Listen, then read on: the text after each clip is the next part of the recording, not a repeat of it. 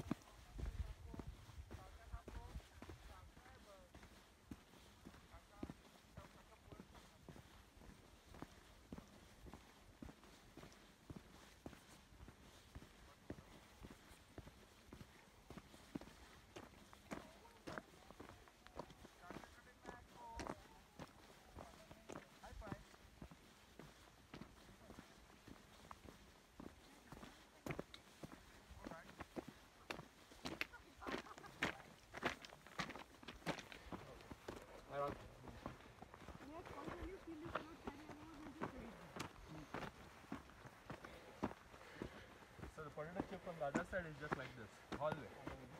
Just it keeps going like this.